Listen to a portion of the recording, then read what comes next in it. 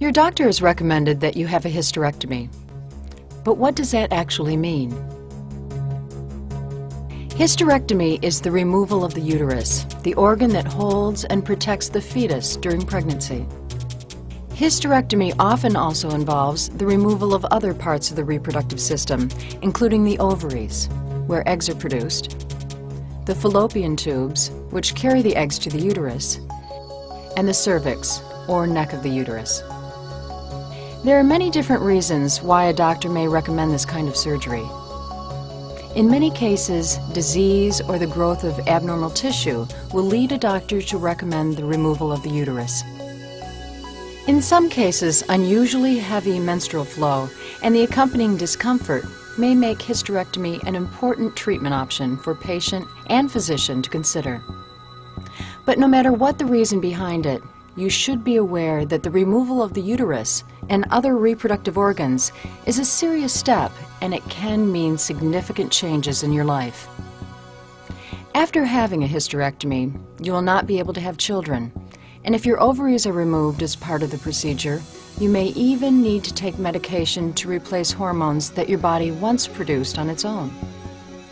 So make sure that you ask your doctor to carefully explain the reasons behind this recommendation. On the day of your operation, you will be asked to put on a surgical gown.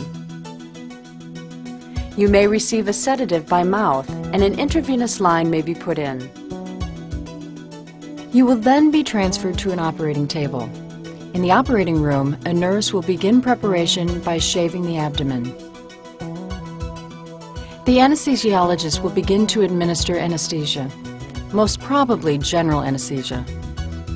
The surgeon will then apply an antiseptic solution to the skin, place a sterile drape around the operative site.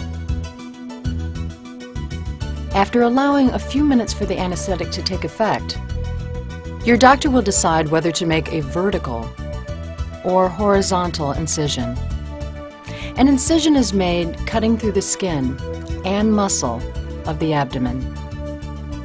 Next, the surgeon will inspect the general condition of the abdominal organs.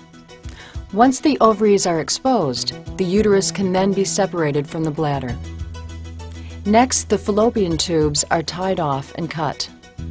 All arteries and veins connected to the uterus are tied off and cut as well. Now the uterus can be pulled upward. This stretches the vagina, allowing the surgeon to cut the uterus free at the cervix. The surgeon closes the top of the vagina with stitches and provides added support by attaching the ligaments that once held the uterus in place. The incision is then closed and a drainage tube may be left inserted at the site. Finally, a sterile bandage is applied.